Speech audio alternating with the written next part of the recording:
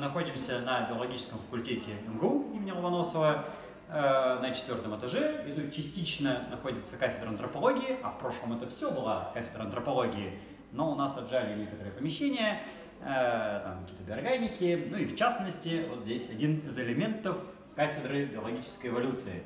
Ну, как видите, э, кафедра эволюционировала до э, изображения каких-то там муравьедов и слонов э, рукописного как бы состояния.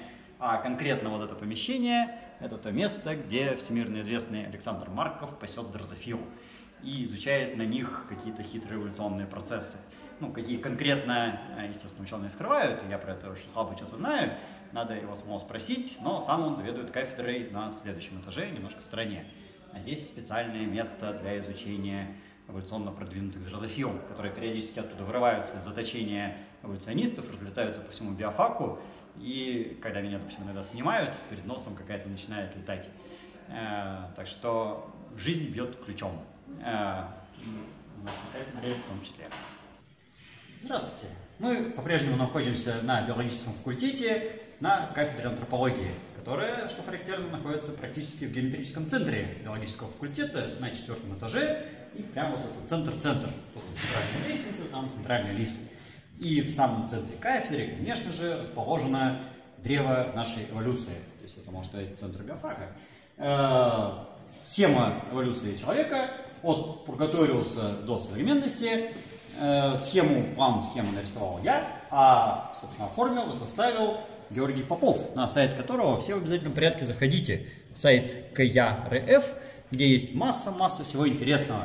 Георгий Попов – уникальный человек, который совершенно за бесплатно, от чистого сердца и исключительно с целью популяризации составляет массу таких плакатов на самые различные темы с помощью специалистов, что характерно, и бесплатно раздает в интернете. Есть электронная версия, кстати, вот этого плаката есть более новая версия даже уже. Э, можете скачать, распечатать, а он мало того, что это составляет, еще и распечатывает и дарит в школы. Так что поддержите его, если будет таких людей больше, то и жить станет лучше. Но это как бы самый центр, а в закоулках э, биофака есть всякие интересные вещи. И в частности имеется комната 468. Это аудитория 468, э, можно сказать, главная аудитория нашей кафедры антропологии, где проходит вся главная часть жизни нашей кафедры. Большинство лекций и для э, студентов кафедры, и для других студентов – и какие-нибудь защиты курсовых, дипломов, предзащиты. И я здесь защищал и курсовую, и диплом, и предзащиту кандидатскую тоже здесь проходил. А, как видите, в комнате масса всего интересного. И в каждом из этих шкафов мы чего-то доскрываем. А, Все я вам, конечно, показывать не буду. Тут слишком богато. А, как видите, вот, тайна номер 40, тайна номер 42, но лучше туда не заглядывать, а, слишком страшно. Вот, а покажу я вам самую главную ценность. А, прям хочется открыться этой тайны. Потом я закрою. А покажу я вам самую таинственную тайну, которую я, правда, тоже раз в неделю кому-нибудь показываю, но еще разок не помешает. Для этого у нас есть много ключиков, если подобрать необходимый, увидим криминологическую коллекцию кафедры антропологии, ну, как бы часть, вернее, этой коллекции. А самая ценная часть этой коллекции – это вот этот череп.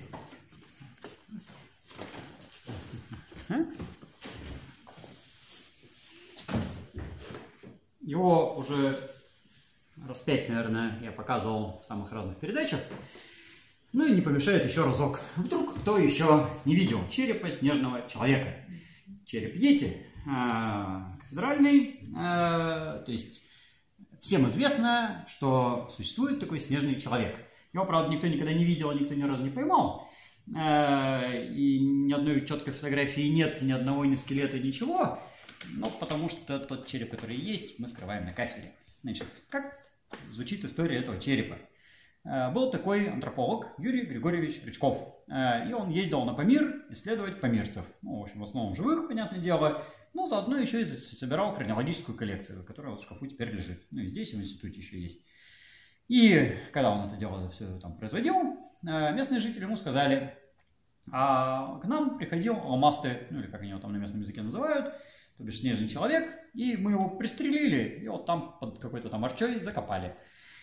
Юрий Григорьевич, он же как бы ученый, он взял лопату, само собой, пошел и раскопал, э, и нашел вот этот замечательный скелет, ну, череп в частности, э, каковой, собственно, является скелетом, ну, вернее, черепом снежного человека. Что мы можем про него сказать? Если кто вдруг подумал, что это снежный человек, э, я могу с серьезным лицом говорить любую чушь. Но как бы история черепа именно такова. И именно его называли снежным человеком местные жители. При этом череп принадлежит сапиенсу. Самый что сапиентный сапиенс э, из всех возможных, ну, правда, большой. То есть это был крупный дядя.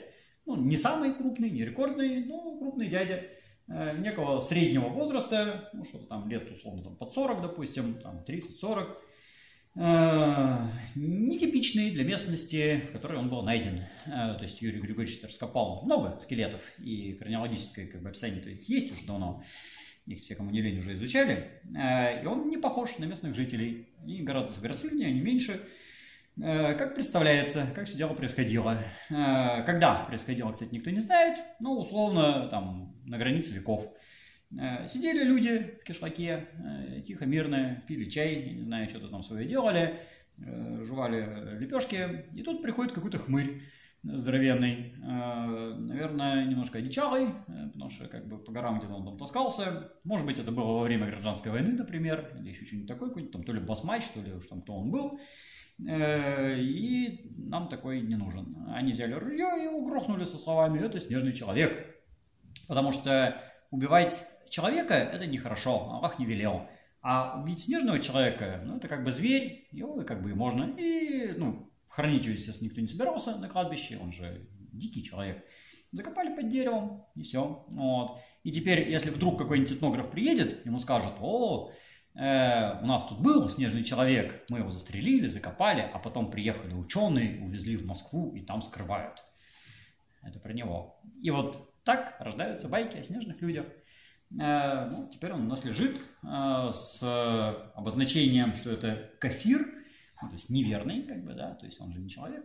Э, и есть. Э, я видел еще э, два черепа, один из которых тоже снежный человек, а один как бы метис между снежным человеком и человеком.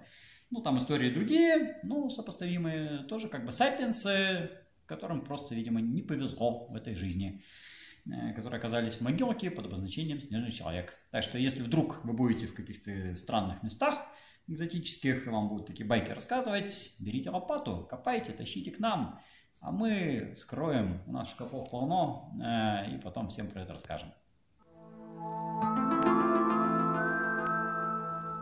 Мы все еще находимся на кафедре антропологии биологического факультета МГУ, и я вот решил немножечко э, раскрыть то, что обычно мы тут скрываем. Вообще, я это раскрываю где-то раз в месяц, наверное, разным телеканалам, но вдруг кто еще не видел скелет инопланетянина. Э, ну, мы любим скрывать скелеты инопланетян. Вот такой вот чудесный скелетик. Вот можно его крупным планом показать. Так вот 3D, прямо то-то-то-то-то-то, 3D, вертится, вертится, вертится. Для сравнения, секундочку, скелет современного ребенка, э, который, как бы, ну, условно здоровый современный ребенок, а это, ну, масштаба скелет инопланетянина. Как видите, в отличие от современного человека сопоставимого размера, ну, почти такого же, лицевой отдел совершенно другой, нижняя челюсть резко выступает, глазницы ориентированы иначе, мозговой коробки нету вообще, в отличие от современного ребенка, э, Позвоночник представляет собой широченную пластину вместо нормальных э, тел и дуг позвонков. Ручки-ножки одинаковой длины, таз практически смыкается с грудной клеткой, грудная клетка задрана наверх, э, но при этом пятипалая конечность хватательная э, и чуть ли не со сводами стопа. Вот такие чудеса. Если кто подумал, что это какой-нибудь зверек, он ошибается. Это, ну, можно показать крупным планом, допустим, ручку, ну вот, ложку, это инопланетянин. Э, а если кто поверил, что это инопланетянин, э, ну это хорошо. А, а для тех, кто не поверил, я совру, э, чтобы как бы было объяснение такое типа научное, так чтобы для отвода глаз.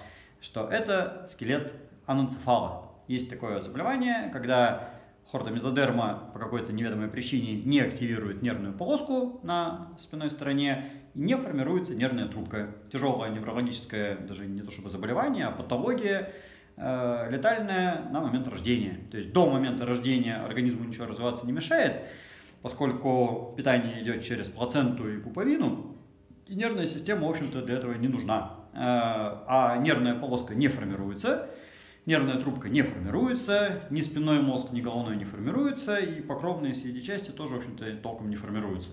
И получается, что мозговой коробки нет, позвоночник есть, но неправильно сделанный, он не замыкается, и дуги не закрыты, э, спинного мозга нету вообще, вместо крестца какая-то ерунда.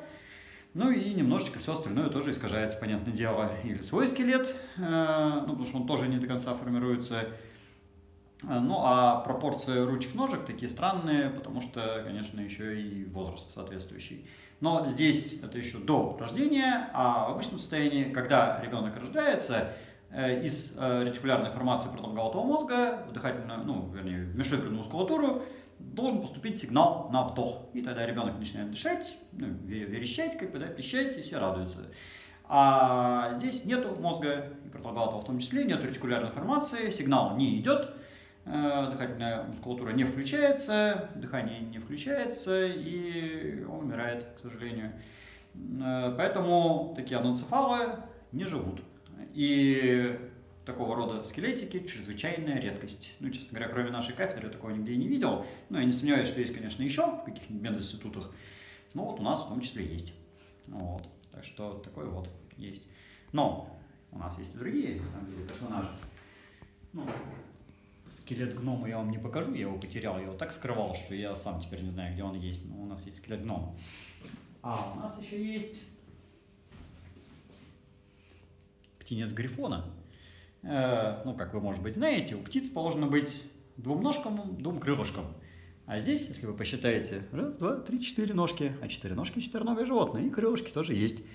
Э, ну, а животное с четырьмя когтистыми лапами и с крыльями с птичьей головой – без сомнения, орлиный. Ну, посмотрите, какой клюв, типично орлиный.